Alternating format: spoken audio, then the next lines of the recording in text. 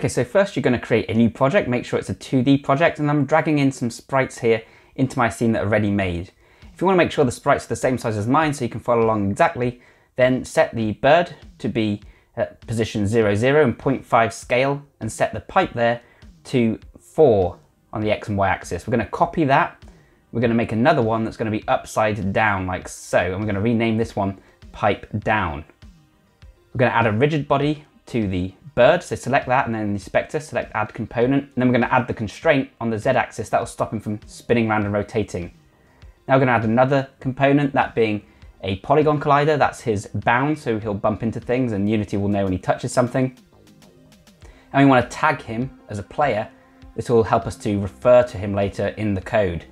Drag the camera onto the bird in the hierarchy there on the left, and that'll make sure that the camera moves in relation to the bird.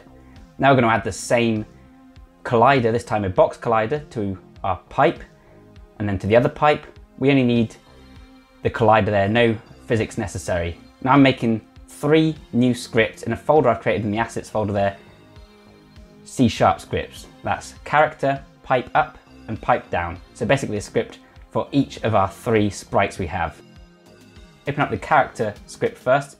We're going to make a public rigid body 2D. So that is the uh, the physics attached to our character.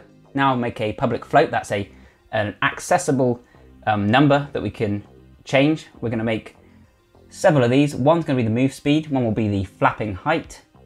And we can change that later on, you'll see. We're going to create a public game object for the pipe up and another one for the pipe down. So that means we can access those elements in our script. So first we need to tell uh, Unity where the rigid body is. So RB equals get component, and then that's the rigid body 2D we have attached to our game object there. Okay, and now in the update method, that's a method that's called repeatedly as the game refreshes, we're going to add some velocity to our rigid body, the script, the physics script attached to the character. So this is going to keep the character moving constantly to the right, and we're keeping the y coordinate the same. So by saying RB velocity y there for the y coordinate, we're basically saying whatever the y velocity is, keep it like that. Okay, now we're using an if statement, so that means that the following code will only uh, execute if this statement in the brackets here is true. And we're saying that if the player clicks the mouse button, then we're going to add some movement going upwards. So that's going to be our flapping motion. Now a mouse button is translated as a screen touch anywhere when you save this and run it on Android. Okay, now we're going to do another if statement, and this time we basically want to just detect when our character goes too high or too low. So when they're out of bounds, and then we're going to kill them because we don't want them to be able to fly over or below the pipes. That looks strange and it's cheating. Okay, so now we're going to create a new method, and this one's going to be called death, and that's where we're going to handle our player death. So yeah, a method is any piece of code enclosed in curly brackets and you can call it from anywhere else within your script.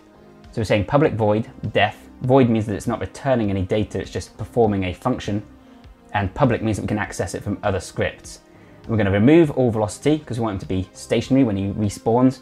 Then we're just going to literally move him by taking the transform there, transform being his current position, and setting it back to 0, 0. Now we're going back in here and we're going to add the component, the script, to our player character change these public variables here in the inspector, and then there you go. So that's why you make public floats like that, so you can change them from outside of the script. Okay, now you're going into your pipe up script, and I'm creating a reference to our character object, and also to our other pipe, our pipe down object. So again, we need to tell Unity where to find those. So the character is going to look for an object with the character script attached to it. Remember, we just added that component to our character sprite. Then we're going to put another if statement in the update method, which remember happens repeatedly every time the game's refreshed. And we're going to say if the distance between the character and the pipe is bigger than 30, then what we're going to do is we're going to destroy our pipe and we're going to create a new one ahead of us. So basically, when the pipe goes off the left of the screen, because remember the character keeps moving forwards, we need it to disappear and we need a new pipe, a new challenge to appear in front of us. So now we're creating three random variables and these are random numbers. And we want that because we want the pipes to be in slightly different positions each time. So we're getting a position for the X, for the Y, and for the gap, the distance between the two pipes, the top and the bottom one. We want to make sure that we move the pipe the correct distance in front each time, but also add a little bit of a random element just to keep things fresh and to keep things fun.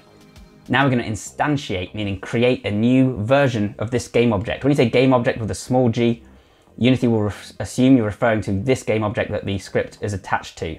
So we're creating this new game object using a vector, that's a position, and we're making it in front of our character, um, 30 uh, spaces in front, but at the same time adding on that random element, and then we're keeping the height uh, accurate with a slight random element as well. Then we're going to instantiate the other pipe, the pipe down, that's why we added that reference to the pipe down up there at the top.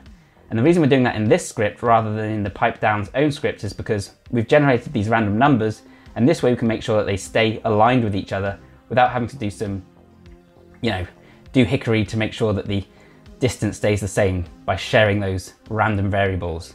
Just makes more sense to put it here. You'll see how it all works in a moment. And then we're going to destroy this game object. So once we've created the new pipe ahead, we need to destroy the old one. If you don't do that, they're going to keep popping up ahead and it will take up a lot of memory. Okay, now we're creating one more method, and this is going to be one of the most useful methods you use a lot in Unity. It's the on collision enter 2D. So that means that when something touches the collider, this happens. And we're saying when the thing that touches it has the tag player, remember we added the player tag to our character, then we're going to call that public method from our character script called death. So we're saying character.death. That's the great thing about a public method. It means that you can call that bit of code from other scripts attached to other objects. So add the component, add the script to the pipe up there. Same way you did before, add component, scripts. There we go. Click play, and now each time you touch that pipe, you respawn, it kills you. Great.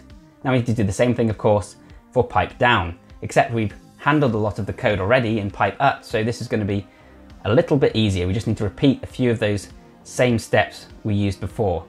So we've created a reference to our character up there, and we're going to tell Unity where the character is. We've done this before, find object of type, character, meaning it's looking for an object with that character script attached. Okay, and then in the void update, remember the method that is repeatedly called each time the game refreshes, we're saying that if the character is a certain distance away from the pipe again, and then we're just going to destroy the game object. No need to respawn it because it's being respawned at the exact same time that the, the upwards one is being created. And then we can just copy that on collision enter script from the other place, from the other script. And there you go. Now I'm creating a new folder called prefabs. Make sure you add that to the pipe down um, sprite, by the way. A prefab is a ready-made game object with all your attributes and scripts attached. So I've deleted them from the scene and just put them into my prefabs folder there.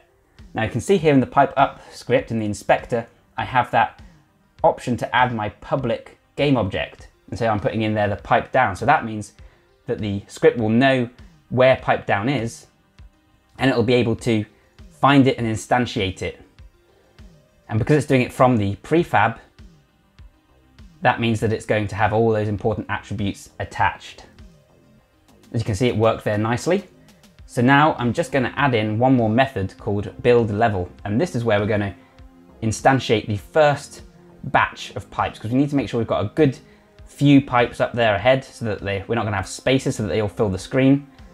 And if you use the same um, numbers that I did in the same sprites, then you can just copy this, pre, uh, pause the screen and copy it out, but play around with where you want your pipes to be. You can add random positions to start with if you want.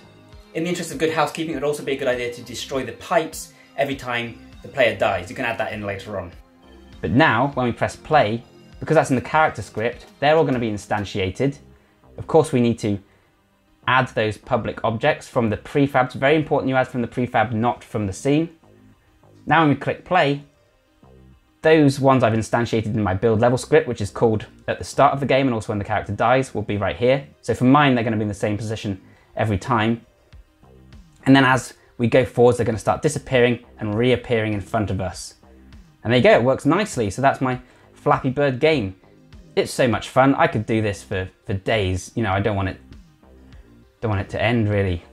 So yeah, there we go. We've run through that all quite quickly, I realise, but you know, slow it down where you need to. And hopefully you've grasped the concepts. If there's anything you don't understand, then click the link in the description down below and I go through in a bit more detail and explain things like prefabs, what they are. They're just a really useful way of creating a game object with all the attributes already attached.